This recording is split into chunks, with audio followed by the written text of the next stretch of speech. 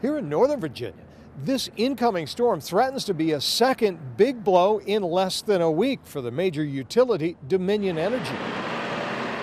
Power crews returning today to Loudoun County, Virginia, after they've been away, working nonstop since a catastrophic ice storm pounded the central and southern part of the state.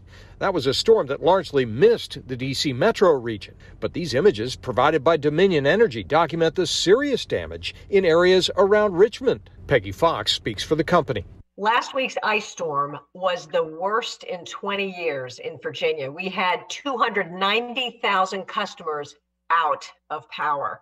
So our crews have been working nonstop to get everyone back. And in fact, this morning, they are still getting those last few customers back online, uh, just in time to get ready for the next big one.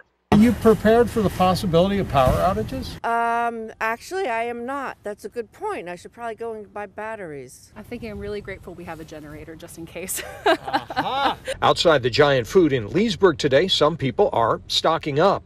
Milk, eggs, flour so we can do some baking. So, in other words, you're ready. I am we would like people to charge all their devices, uh, be prepared. Despite the challenges, Dominion Energy says it does stand ready to deal with whatever the weather brings to this region tomorrow. In Loudoun County, Virginia, Scott Broom, WUSA 9.